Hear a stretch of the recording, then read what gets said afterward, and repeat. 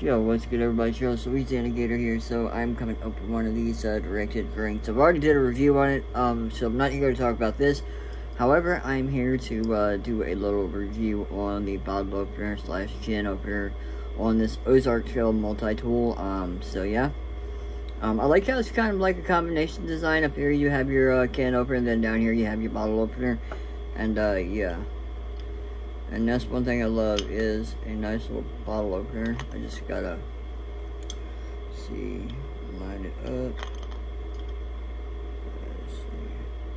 Alright. It's our it's an okay little bottle opener. It's not the best. Um so yeah.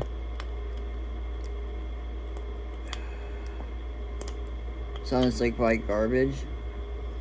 It just really depends on how I get it. So yeah, there we go. Takes a little tries, but if it's all you have, it's better than nothing, right?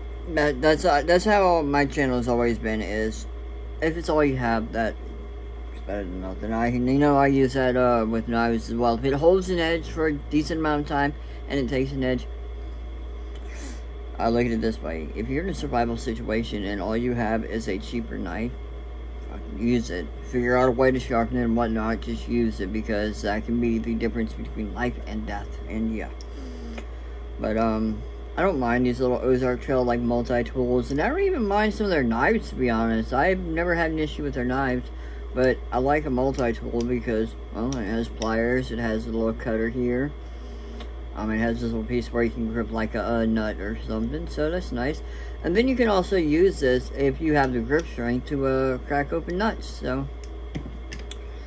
Let's see, what else does this little thing have on it? Well, it has a knife. Um, there's another little separate can opener here. Um, I'm guessing this is to bore out leather. A screwdriver on that side, okay. We'll come over here real quick. Uh, we have a little um, serrated knife or serrated blade, a file. Looks like a flathead, and I'm not sure what this other little thing is. Let's see if I can... Okay, so I guess it's uh, two flatheads? Yeah, two flatheads. Okay, that's nice.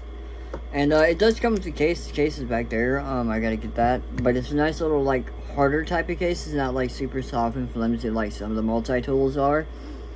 So I'd say they really went up on quality on that, so. But um, I will definitely uh, get more use out of this before I make my final review. I forget, actually, I don't know if I did a unboxing on this yet. Uh, well, obviously I can't now because it's already open, but I don't know if I did an unboxing on this. Um, but uh, here it is, if I didn't. It's nice. I like the way it looks. I like the, uh, I guess you would say that's more like a, almost a brush or matte uh, finish. Um, so yeah, really nice. And uh, looks like it's mostly stainless steel, if I had to guess. So yeah, but um, go ahead and take a sip of this.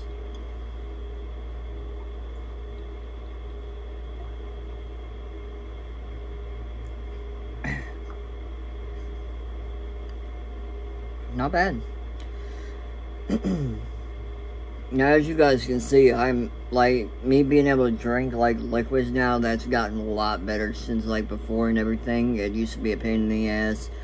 Um, everything, like, even if it's carbonated or something like this, uh, sparkling, I would always have an issue where I would start coughing really bad, but, uh, that's gotten a lot better. It still happens from time to time, but hey, it is what it is. You can't really, uh, can't really do too much about that, but, anyways, Hope you guys have a great uh, rest of your weekend. Um, tomorrow is Sunday, so uh, yeah, there's that. And I hope you guys have a great week. Peace.